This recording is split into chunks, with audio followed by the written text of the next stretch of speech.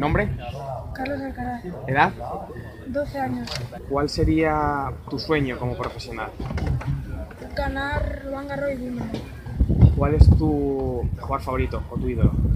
Eh, Roger Federer.